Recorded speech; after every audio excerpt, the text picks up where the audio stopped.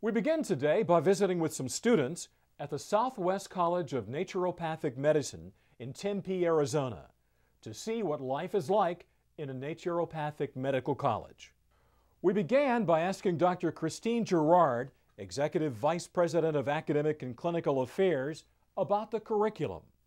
Naturopathic medical education begins with a four-year program that includes training in the biomedical sciences, such as anatomy, physiology, biochemistry, and that type of thing, and transitions into the, uh, the clinical sciences, things that we call the ologies, such as gynecology, gastroenterology, and that type of thing, and continues on within that context related to the diagnostic sciences, including lab diagnosis and diagnostic imaging, and then begins to get into the level of therapeutics therapeutics including pharmacotherapy or the use of drugs, along with many treatments that we might consider to be alternative, such as the use of botanical medicine, homeopathy, physical medicine, clinical nutrition, etc. The entire education culminates in the clinical training, which happens both at the, the college's medical center, um, where students are, are exposed to diverse patient populations, but it also extends into multiple community clinics. Usually I will get up at about 6.30 in the morning and get ready and I'll be at the clinic by 8. And my first patient usually will come in between 8 and 10.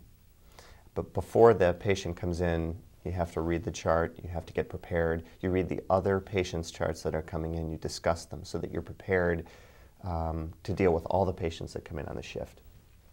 And then the patient comes in, you see your patient, you do your paperwork, you do your write up, go to lunch around noon, come back for shifts that last between 1 o'clock and 9 o'clock at night. So usually I don't get out of the clinic until about 9.30, 9.45 at night. So there, there's some pretty long days. It's harder than working full time and being a mom because school is never just done. it's kind of always processing what you're learning, um, but I've never felt in a better place to care for my family and care for their health.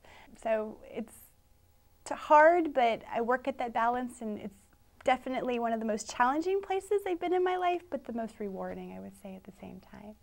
Second year is more of a focus on the abnormal pathologies of the body. So first year we get we're getting we're still in the, all the didactics. So the first year you get your basic sciences, the physiology, where the body's supposed to work. Right now we're getting like our CACR classes, our pathology, laboratory diagnosis, physical diagnosis. So we're learning how the body works abnormally and what to look for, and then also how to um, just examine somebody with either ourselves with stethoscopes, we're doing blood draws, so we're, they're prepping us to get into the clinic and also finishing like all the didactic studies of abnormalities in the body. On top of that, right now, I'm also a teaching assistant for the anatomy lab.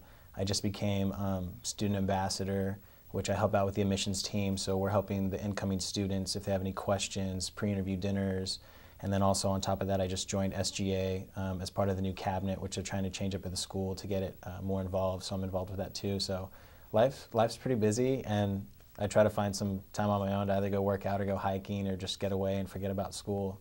The experience here is, is just awesome. It is challenging. It is medical school, but I tell you, I'm learning so much. Um, I'm really tying um, uh, the medicine to uh, patient care, and it's just, it's an awesome experience. It's very challenging, but it's very rewarding as well. It's important to note that there are a total of seven naturopathic medical colleges within North America, five in the United States and two in Canada. And those are the naturopathic medical schools that are accredited by their regional accrediting agency, but most importantly, the Council on Naturopathic Medical Education.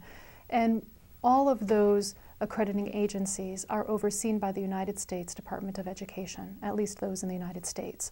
That's important to note because there are many other programs available to people um, that are what we might call online courses or that type of thing that don't necessarily culminate into the medical degree that is accredited, where the graduates and students are then eligible to take their board exams. And once they complete those boards successfully, they're able to then um, become licensed to practice medicine in the state that they choose to live in.